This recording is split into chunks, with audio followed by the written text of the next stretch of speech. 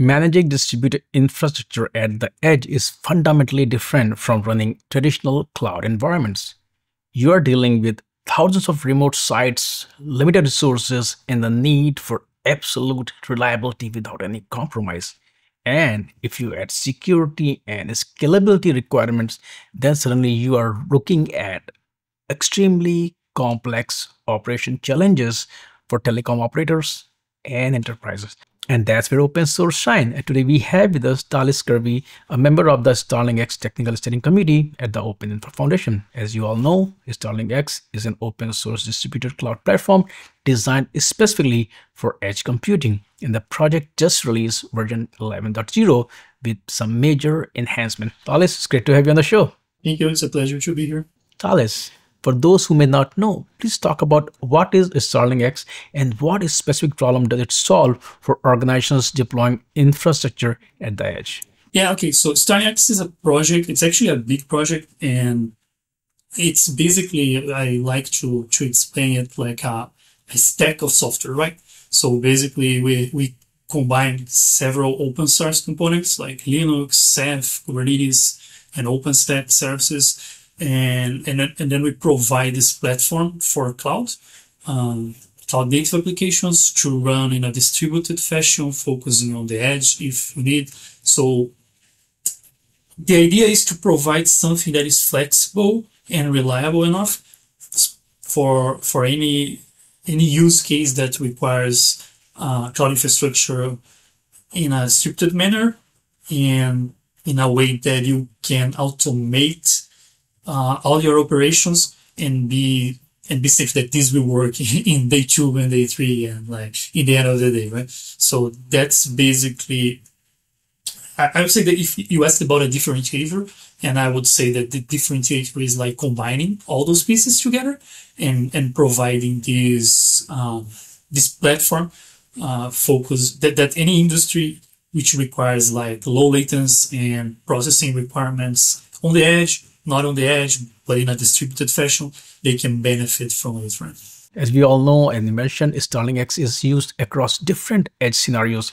Can you walk us through some of the primary use cases and how does the platform address the unique requirements of IoT deployments, 5G networks, and O-RAN infrastructure? StarlingX is on the, I think we'll talk about this later, but it's on the release number 11 already. And I joined the, the, the project five years ago and and I know that since even before the time I'm working uh, with StarlingX, I know that the main use case was telco providers. So there are some telco providers running solutions based on StarlingX, their backbone, and and the idea is that we can provide um, a Linux kernel uh, which can be the standard one or the real-time one. So if you select use the real-time, you already benefit from, from all Linux real-time and low latency capabilities. And, and then we do integrate what we call uh,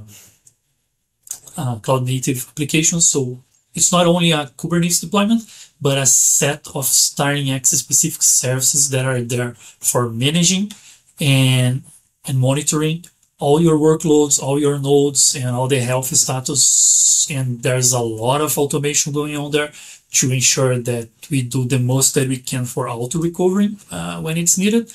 So, so at the end of the day, the user is more focused on, on the application that's running there and can be can ensure that that there will be a, a high level of reliability there and like I know that there are some companies using that and they are using for a. So I think this is the best proof that the, the efforts are targeted directly on the right way.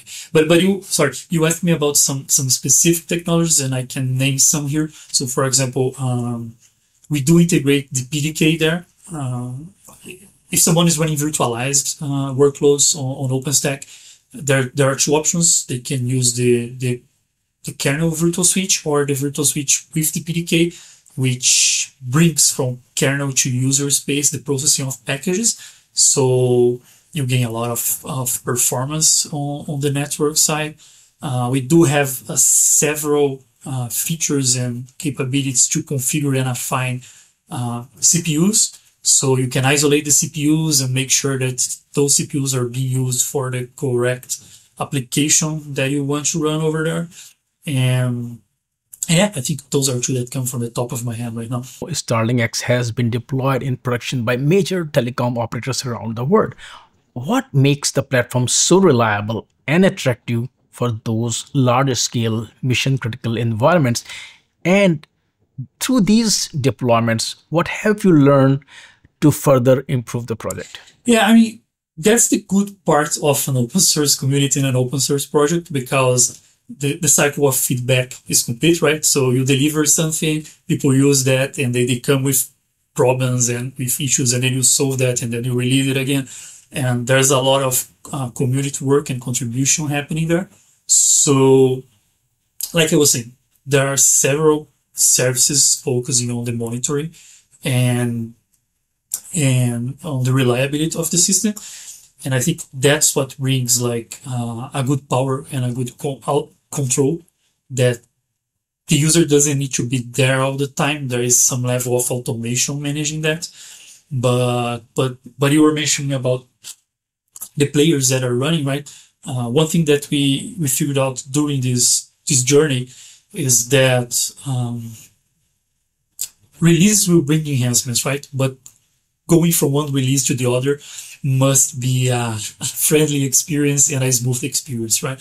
And especially when we are talking about distributed systems and large scale systems with like hundreds, maybe thousands of nodes, uh, the way you do the upgrade must be way controlled. So that's something that I saw in the previous, let's say, three or four release. The community enhanced a lot.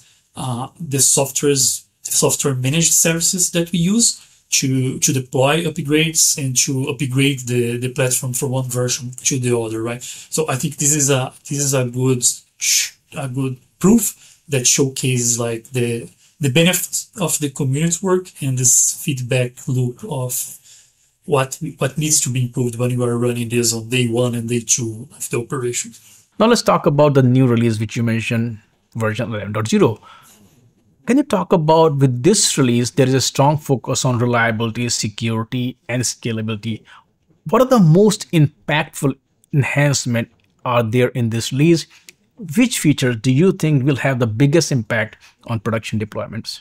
I think this release is delivering the, the state of art on the on what we call the, the software management uh, services, which makes the both the upgrade between releases and also the patching of fixes uh, way easier and way more automated than other control. And I know that other groups are also working and they delivered good stuff on, on the networking side and security for the network side. So pod to pod traffic is now encrypted in a way that we can take the load from the application that is running there and ensuring that the platform networks are, are properly secure. Um, and like I'm I'm currently the the project lead of the StarlingX OpenStack, which is one of the applications that you can install on top of the platform. And this is a this application is basically to provide a virtualized, uh, sorry, a containerized distribution of OpenStack to run virtualized loads. And that group did a, a big enhancement on, on, this release. So we integrated with the Rook Ceph, which was already delivered in the platform. Uh, so we are talking, we, were able to use Rook Ceph as the as the storage backend for OpenStack right now, and we integrated the the Open vSwitch with DPDK as well. Like I was saying, that DPDK is an important piece for performance on the network, and the OpenStack load can benefit from it now. So so yeah, I think this, those are the the biggest markers on, on this release when I was reading the press release, I noticed that this release also introduces important technology integrations and upgrades. Can you explain how these integrations improve performance and operational efficiency for edge environments? Also, what should operators and developers pay attention to in this release? Yeah, I mean, it's it's again like um, let me use this Rook Ceph example, right? Uh, in the past, the the Ceph use it to run on the host of the platform. And there was a set of specific configurations for the storage of the platform. And even if you apply the OpenStack services on top, you would have to point to it as well. And the storage team did a great work on moving to the Rook Ceph, which is, is newest version. It runs on the Kubernetes world, and and actually on StarlingX, you are able to to configure nodes specific for storage, and and then you point everything there. So the operations you you gain some some efficiency. Of course, there is the network piece uh, between the, the I/O communication, but but you have storage efficiency there, right? So so for example, we integrate the, the StarlingX OpenStack with the Rook solution, and we are able to benefit from that right now. Um, the, in the Kubernetes world, actually, DPDK is being used and supported for a while, but but in the OpenStack world, running on top of Starling uh, we just integrated the OpenView with the PDK uh, using the Debian latest versions, so so users can can launch their workloads uh, and benefit from this network performance. Uh, we are starting to, this was not finalized on this release, but we're starting to explore like um, PCI pass-through. So actually we do support PCI pass-through mainly for networking scenarios, but people are starting to play with this for for GPUs, virtual GPUs, and and yeah, and those are the examples that come to my mind right now. Like any open source project, while Telecom has been the primary adopter of StarlingX, the project is gaining traction in many other industries. I mean, Linux is a good example. When ARM wanted to join, people were like, what is ARM doing here? But now because of ARM's requirement of being power efficient is now actually saving data centers millions and billions of dollars every year in cost efficiency. Can you talk about how is the community evolving to support the broader enterprise use cases and what role will this new release play in driving adoption beyond telecom? I use uh, I like to use the the mail list for the community as a as a measurement of the interactions and the new use case because usually it's there where we we figure out like how people are trying to use the solution around the world so yes, there are telco players using this, but we saw like recently we saw uh, engagement for for other cloud related companies that um, they have like enterprise focused uh, use case. Uh, I mean, it's hard to know exactly from other companies, but we know like overall that there is some interest on automotive industry, uh, healthcare as well, but mainly like shifting towards the enterprise enterprise world. And and actually we also got some questions from universities as well, people playing with that. And my personal feeling is that recently there was this new trend of people moving back to the OpenStack world, especially in the, in the enterprise world. So Starling X is there, is ready, and it can run OpenStack loads. So we saw the interest raising uh, on those points. But you you nail like you hit the spot when you said that this also bring new challenges, right? Uh, one thing that we, we realized during the, the release is that the documentation was very focused, uh, maintained and read by people that are using to the project. So, so the, the learning curve was a bit steep and the community is doing like a big effort on reviewing the documentation, making it more clear, more accessible, and making it more objective to someone that is new, uh, never played with with StarlingX to be able to get a, a, official build, deploy in a virtual environment, play with it, discover the capabilities, and later move to a real hardware, right?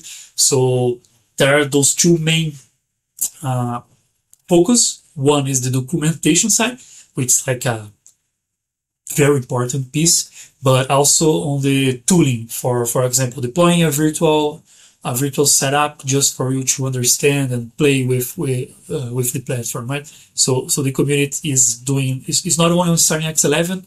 The community did a great enhancement on StarlingX 10 as well, StarlingX 9, and I think this will be an ongoing effort. Like as more people are interested on using this, the more we will be enhancing our communication channels like the documentation. Thales, thank you so much for joining me and sharing these insights about StarlingX and the evolution of edge computing infrastructure.